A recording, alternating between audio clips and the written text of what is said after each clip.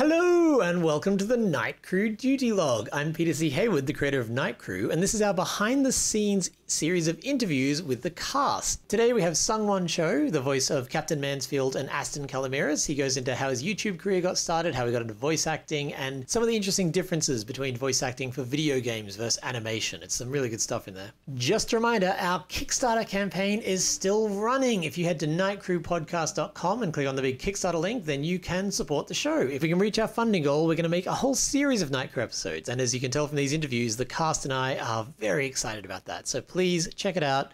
You can pledge as little as $5 and it'll really help us get the show made. If you haven't done so yet, please tell your friends either about the show, the Kickstarter, or these interview series, which I think are really interesting. I'm learning so much about the cast and the process. As you remember from my episode, this is all relatively new to me as well, so just to hear all the things I didn't know is truly fascinating. Anyway, I'll throw it to Gabe and Sungwon. Hope you enjoy.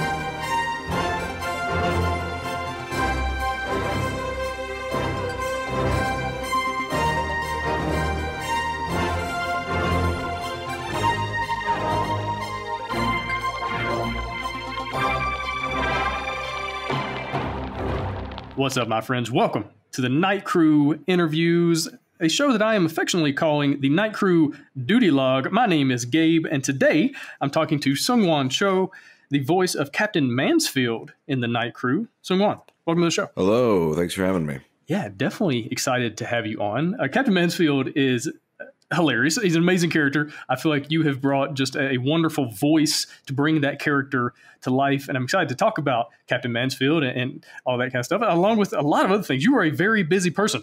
And so I'm excited to talk about a lot of different things that you have done in the past and that you're working on right now. But before we get into that, give me like your your two minute bio. Who are you? How'd you get into acting and voice acting, all that kind of thing? Sure. Uh, I'm Sungwon Cho. I'm a voice actor. I've been in video games and animation primarily, and I also do YouTube on ProZD, P R O Z D, where I just make all sorts of videos, skits, and other sorts of videos where I just do whatever I feel like. Uh, that's sort of the the TLDR of what I do. Yeah, I saw on your YouTube channel you do lots of stuff. Uh, you even do board game reviews, which I'm a game mm-hmm. designer. I'm a game publisher. That's how Peter C. Hayward and I met each other many moons ago. It's just, it's awesome with all the different things that you do. Now, tell me what it's like to be YouTube famous. You have over three million subscribers what is that like? What's it been like to go from zero to three million plus? Tell me about it. You know, it, it's surreal uh, for sure. It's not something I, I, ever expected would happen. There was a time in you know where I thought one hundred thousand was impossible. I thought that was an impossible goal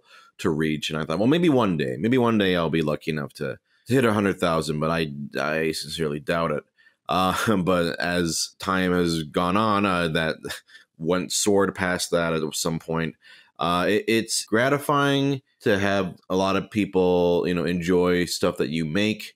And then at the same time, it's also not scary, but it, it's definitely is something to get used to when you realize a lot more people know who you are and your face. Uh, like, you know, when you get in recognized in, in public and uh, it makes it so that uh, your not necessarily privacy is changed, but a bit. Like when if I go out in public or whatever, there's there's a good chance that at least one one or two people will recognize me and maybe want like a photo or something. And if I'm at like a convention or something, that's conventions are almost impossible to navigate at this point. So uh, that's also something that's changed. Yeah, it's definitely something a lot of people don't think about. They want to be famous or YouTube famous, but then there's also some side effects to that. There's pros and cons, uh, like mm-hmm. everything else. Tell me about how how you grew the channel. How did you go from zero to 100,000 to now over 3 million? What do you think it is about your channel that keeps bringing in new subscribers? Huh. I think initially, you know, I don't know. It, it, it just kind of felt like a fluke, like in the beginning, because I, I'd been, you know, making stuff on the channel for a while, but uh, well, I guess it wasn't necessarily a fluke because I grew an, an, audience online actually on Tumblr first by doing like audio posts uh, on there daily. That was a, a, goal I set out for myself after graduating from college. I wanted to be a voice actor and I knew this. So I wasn't sure how to even get to that point, but I knew I had to just start practicing. So I dedicated myself to doing one audio post every single day, and I didn't miss a single day for several years. And that started to grow an audience, and then that led to something like Vine, like Vine, where I I got some popularity on there, and then eventually, uh, when Vine went away, I went back to YouTube and just kind of started to focus a bit on that. I would credit my growth to just years of just diligence and like putting my nose to the grind, just getting the work done, uh, and not worrying so much because my I never had any aspirations for YouTube fame or anything like that. It just sort of happened. But then for me, I think what keeps people coming back is they might find one type of video. And then at this point, I have a lot of other videos maybe related to that, like a skit. Like if they come for the skits, they start to just watch all the skits but then they might watch one where I try a bunch of food or try or talk about board games. And I think what keeps people coming back is I'm a pretty I'm pretty genuine about who I am on the, like I don't put on a persona or anything. I I think there's a genuine feeling that people get watching me of like this yeah, this is what this guy is like. I want to see what this guy does, uh, or think he's funny or whatever, and I want to keep coming back. Yeah, that makes a lot of sense. I've talked to so many content creators, and the word consistency comes up all the time. Is just being consistent, like you were doing, and posting every single day, which is kind of crazy, and then doing that for years. But that's one one thing that leads into mm-hmm. uh, this kind of success is being consistent and building an audience, building a brand, and people get to know you and they get to know the authentic you, like you're saying. And uh, it's amazing that it takes you know years to become an overnight success, but that's just the nature of, of the business. All right, so you mentioned you knew you wanted to be a voice actor. I know you got into voice acting while you were in high school. Tell me about like how did you know? Like what drew you to this type of job, to this area in the industry? What made you know you wanted to do it? And then how did you pursue it early on? The moment I knew I wanted to do it was uh, I would do these radio plays that my friend wrote in high school, where he would just cast all his friends to play all the characters. He would start casting me, and there was a moment recording one of them where I realized that it had gone beyond just like me, like sort of doing a quote unquote silly voice, actually getting into the character. Like I was so in the moment that I felt like I had become the character in the moment and was like actually invested in and like I don't know, just really in it. And that feeling uh made me go, this is something that I I actually want to do. because uh, I was very familiar with voice actors. Like even like as a kid, I would study like credits for cartoons and and I had an ear for recognizing, oh, like this actor plays this character in this show and this character in this show, and I had this sort of encyclopedic knowledge of like voice actors, and so I think it was like I knew it was a profession, and then when I finally did it and like really enjoyed it on an amateur level, that was when I realized, oh, this is something I want to do. So it really just came down to like, how did I start to pursue it? Was the the whole Tumblr actually? It was just putting yourself out there, making things, people started to notice. And then that led to like my first audition for an indie game down the road. And then when you once you do a good job with that, people will refer you to other directors and other projects and so on. Because really, a lot of getting into the industry is just making a name for yourself in any way. Uh, and then it's like who you know after that. It's like who can vouch for you, not only for your skill, but also for your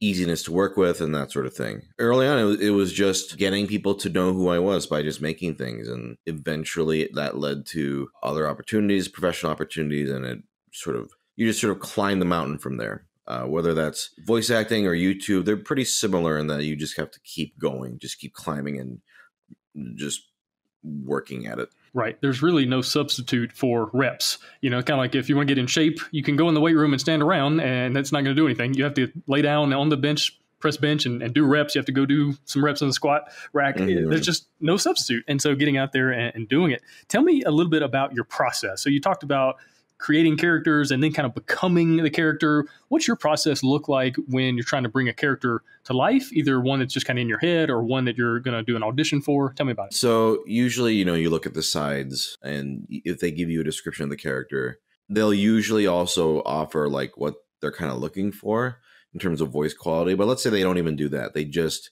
give you a script and you've got the dialogue. Then for me, it's just sort of at this point, I think I have a pretty good gut. I know like I can pull this voice out just from like gut instinct of having done this for so long. So if a character is supposed to be let's let's take the captain for example, like he's a rugged like, you know, kind of no nonsense military man like with a with a past. It's for me I just sort of go, okay, if this guy were a real guy that I could just listen to right now, what do I think he would sound like? Uh, as simple as that sounds, but it, it is just sort of going, okay, well, if he's an older guy, he might sound a little more like this, you know, that sort of gravelly. I've played a lot of characters with that sort of quality of they're either a, a soldier or an older man. Just imagining his existence, that sort of baseline voice immediately springs to mind for me. I'm just like, yeah, that quality of that. Maybe a little gravel, maybe a little sort of thing. So it's hard to describe, but you know, I, I think you also draw a lot of inspiration, maybe just from like watching other stuff and like influences and just hearing all sorts of voices. There's like kind of like a fun aspect of like if you look at a picture of a character or description of a character and going, uh, what would that sound like if I brought that to life? And just basing it off of your own experiences and instincts, I think that's a lot of fun. Yeah, that's awesome. Now, as far as like practicing, do you just walk around the house and talk to your wife and eat breakfast in these different voices, or when you're riding around in the car? Like, how do you practice? Tell me about that. no, I don't really walk around doing these voices. I almost consider like every voiceover session I have is in its in its own way like practice, right? It's just doing the job. It's improve and practice in your own way. But I guess before like between sessions. Every now and then, sometimes I will actually read if it's like a particularly complicated script. Uh, I will maybe read through it once out loud, establish what I think the where I think the voice should be. But I try not to like stick to it too hard because every now and then you go in and you think you know you yeah i this is the voice i'm going to do and they go actually we've changed the character or actually let's completely do a different direction and so you have to be able to completely like discard whatever it is you've prepared in your mind. For me, I guess it's more just maybe reading through it. If I'm completely home alone, like if if, if my wife is out, then maybe sometimes uh, sometimes I have like played around a little bit with just like doing like voices, saying things in a voice or whatever. I, I've definitely done that before, but oftentimes it's just a simple just kind of read through in character, and yeah, that's that's pretty much the most practice I do. Gotcha. I feel like if I was a voice actor, I would just go into different voices in normal life. Uh, if I'm at a restaurant ordering food or Starbucks, I feel like I would just try some things out, and maybe that's completely different than the way I look.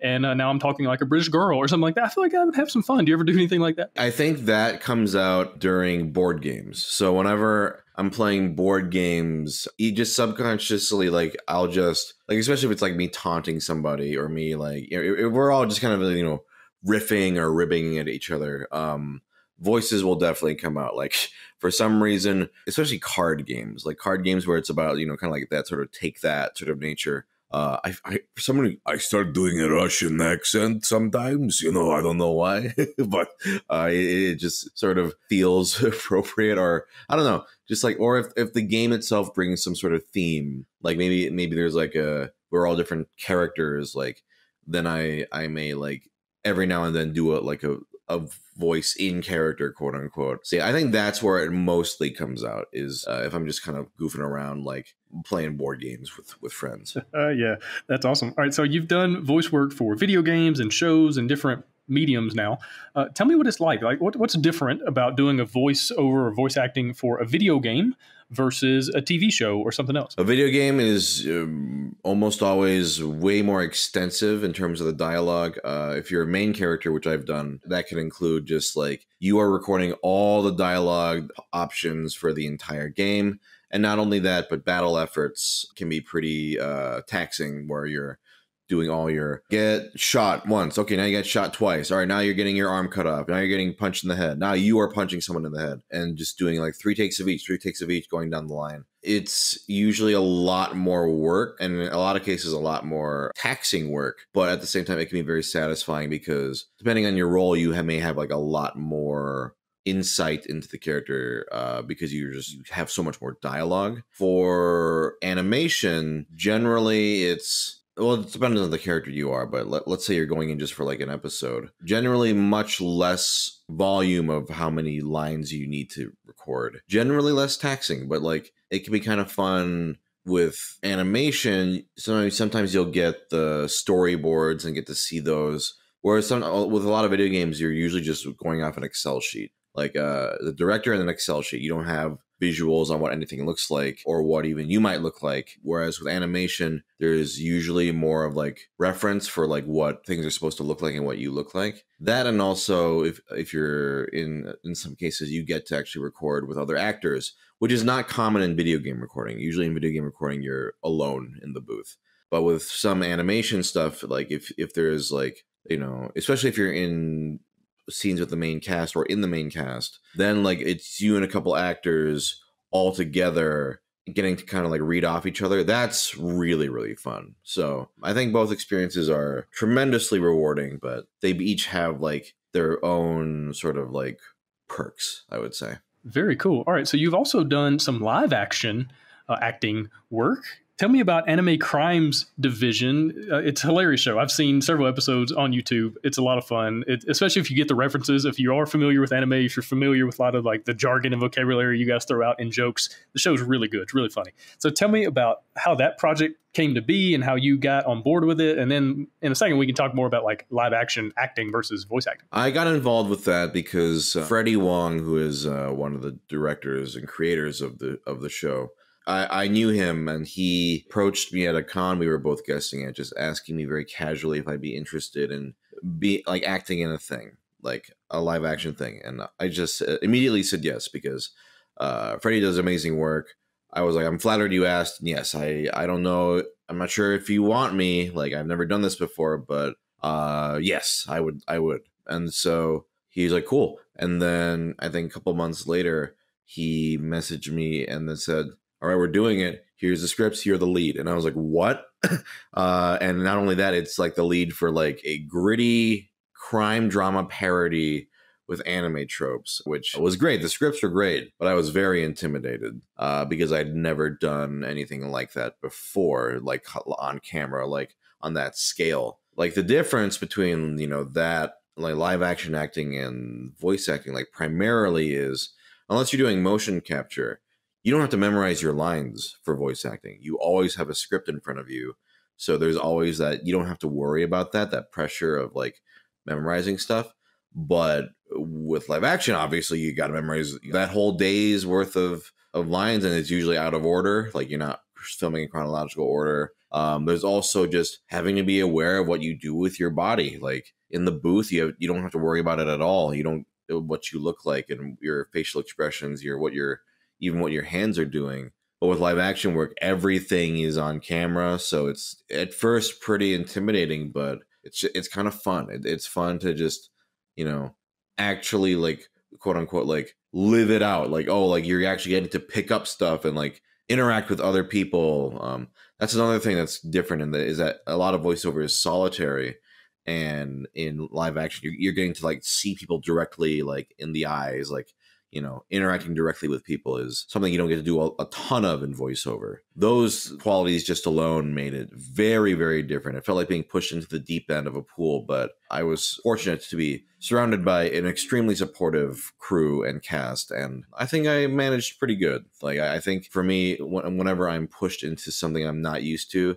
I am usually up for the challenge of just trying to make it work. Yeah, and I think you did an excellent job. Now, is it also kind of a benefit where you are around the cast and there's the camera folks and there's the people doing makeup and costume and like you kind of have a, a, much bigger sphere of people all of a sudden? Is that maybe a little bit overwhelming or is it also kind of fun because you're getting to know a lot more people, a lot more different kinds of people? It's really fun. It really feels like because we've done two seasons and it, every time we did it, it felt like going back to summer camp and seeing all these like familiar faces. You're basically together like for 12 hour days for like two weeks straight. And so it's this intense bonding experience of like you're seeing cast every day, you're seeing makeup, you're seeing like all these people are basically all all together for like two weeks and it's so you know when you're doing good work everyone feels it and everyone is just having obviously i'm sure there are some nightmare sets but for me anime crimes was a, just an absolute joy all all throughout like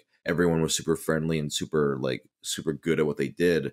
So it was just like a joy to see all these people and when you when you like finish up it feels like kind of sad. It's like oh man like I don't get to see you guys. Like we've been seeing each other every day for two weeks and like talking and you know hanging out and then working together and then just like that, it's like everyone scatters. It's like all right, we're all done, and then you everyone everyone leaves. It, it's a huge emotional high of like being around all these people and then suddenly all right, that's done. Unless we get another season like back to normal and it's surreal but i frankly loved the experience like if if I could do more live action work in, in, with that level of like good people and a good project, I would definitely do it again because to me that was a very positive experience.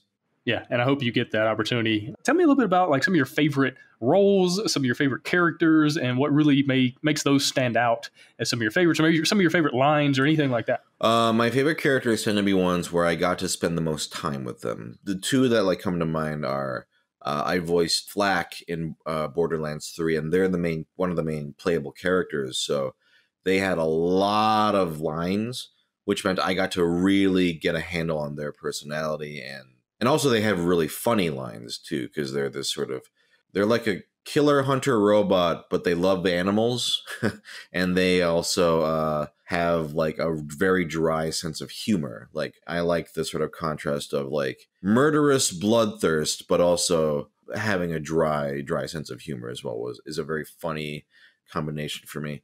Uh, another character that comes to mind is uh, uh, there's a character I played named Hyodo from uh, an anime called Aggretsuko on Netflix, where he's this very no nonsense like businessman on the outside, but he's this very passionate idol manager at night also a really fun sort of like contrast in terms of very straight laced, very serious, but then gets really like in, like intensely passionate about like his idol managing. Like that character, I got to play them for the whole season. Like they were in every episode except one. So again, I had a lot of time to like really get to experience, you know, being them and uh, seeing their story through. Yeah, that makes a lot of sense. All right, let's uh, switch gears a little bit. Let's talk about the Night Crew. Tell me about how you first found out about the show, how you got to be impo- uh, involved with the project. I received uh, an email from my agent that uh, Peter had reached out and was interested in me for for the roles, not just for the captain, but for Aston as well.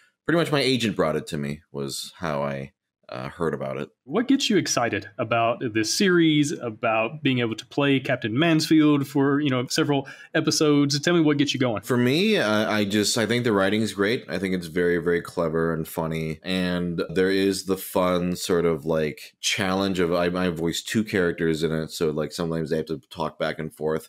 That can be a fun technical challenge and then also just getting to work with uh, the the other castmates. Like there are some people uh, on this cast that I'm you know very familiar with their work. They're, you know they're you know long working voice actors and who I've greatly admired. So being able to be a part of that cast is is an honor. But yeah, and, and also just for the test read, there was just a really fun dynamic of just getting to hear everyone's performances and hear everyone's laughter and that that was also really fun as well so all of that is stuff that I'm excited for if we get to do more. Very cool. And like you said, the, the writing is really good. I've thoroughly enjoyed it. And uh, yeah, I'm also really excited to just kind of see where the series goes. Well, this has been awesome. Where can people find you online? Uh, you can find me on YouTube, ProZD, P R O Z D, uh, Twitter. Um, basically, just Google ProZD and you'll find me uh, on all pretty much whatever social media platforms I'm on. Awesome. Well, Sungwon, really appreciate your time. Really appreciate you joining me here on the Night Crew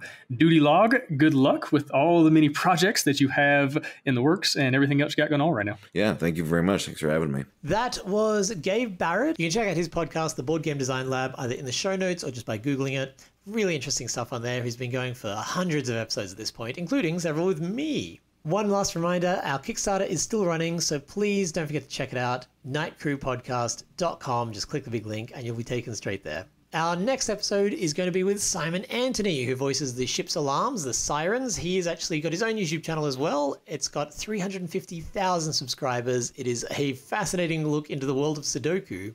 So we'll be back with that very shortly. Thanks so much for listening. I'll talk to you next time.